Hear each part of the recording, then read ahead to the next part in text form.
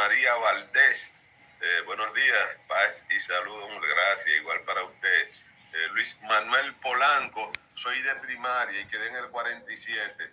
Saqué 30 en la entrevista, es decir, que tengo 77 puntos.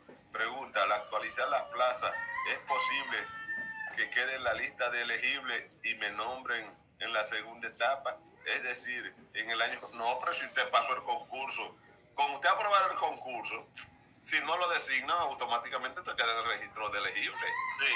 O sea, En cualquier momento lo llaman. claro, todo aquel que haya aprobado el concurso, si no es designado, entonces está en registro de elegible. Y esto quiere decir que está en el banco de espera. Dice, dice Andy Mansueta, yendo en la línea en que, en que yo hablé sobre los de inicial, Andy, que es una jainera que siempre está con nosotros en julio, igual que, que mucha gente que es fiel, que, que es cierto, pero que ella tiene eh, eh, docentes que son de inicial, están nombrados en primaria, pero no quieren asu- asumir grados de primaria. Otros, otros compañeros ahí nos dicen que hay escuelas incluso en que no hay eh, matrícula para nivel inicial y los docentes que están en esa escuela, aunque no tienen niños en inicial, no quieren grados de.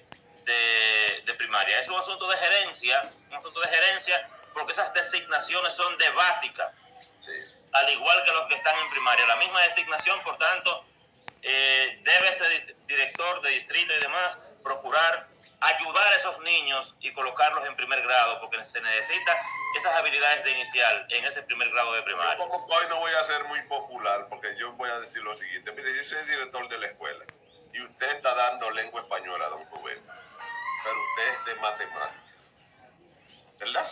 Usted está dando lengua española, usted es de matemática.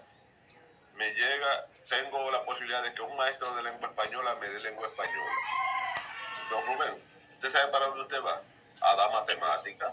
Sí. Esa formación. Y el que lengua española, a dar lengua española. Yo, eh, para, eh, yo se lo comunico y se, y se lo explico, pero son decisiones que, la, son, que usted tiene que, la tiene usted que tomar. Lo que usted no me puede es, yo siendo de matemática, quererme cambiar a dar lengua española. No, No. vamos a tener problemas. No, es que yo no soy... de- Pero cuando usted me está ubicando a mí en mi área, ¿verdad? En mi, en mi nivel que a mí me corresponde, yo no puedo poner ningún tipo de objeción. Y no es de que, ah, que yo soy de inicial, estoy dando clases en primaria. Y ahora me necesitan en primaria, en mi misma escuela incluso, y que no me pueden bajar, cambiar a inicial. Usted- la formación suya es de inicial. O al revés. Entonces, usted- ningún maestro puede oponerse a que lo ubiquen en el área de su competencia. No. Ah, que los muchachitos de inicial eh, ahí son muy trabajosos. ¿Y quién la mandó a estudiar entonces? Inicial. No, y, y, pasa algo que tiene que tener claro el Ministerio de Educación, don Julio. Hay aulas so- sobrepobladas de nivel inicial, donde hay una maestra volviéndose loca.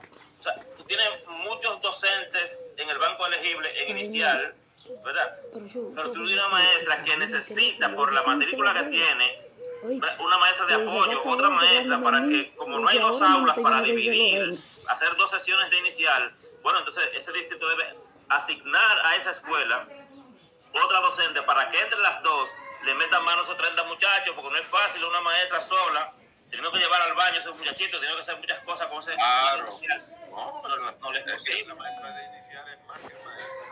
Eh, mire, te voy a hacer esta similitud con, con, con el papá mío. Mi papá era maestro constructor y cuando en el campo había que hacer alguna casa, eh, la mayoría de veces eh, la gente la hacía